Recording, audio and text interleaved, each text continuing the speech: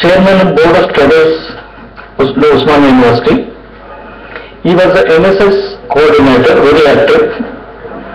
He worked as a registrar Palamuru University for six years, uh, till recently, till his appointment as the vice chairman to the council. And he got the Young Scientist Award in 1994, University Best Teacher Award in 2012, AP Best NSS Co- Coordinator Award. He was elected as Vice President, General Secretary and Joint Secretary of our OAU Teachers Association. So we welcome you, sir. Uh, Professor S. Malleswam is a professor in the head of the Department of Philosophy, Osmania University.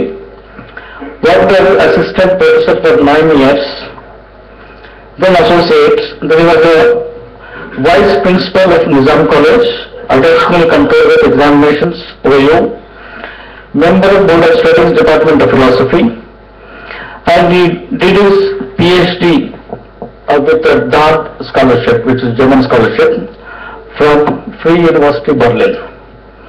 So, and uh, he was also principal of the Arts College, which is a middle university. We will call as a university student. You become Arts College, it's a basically middle vice chancellor.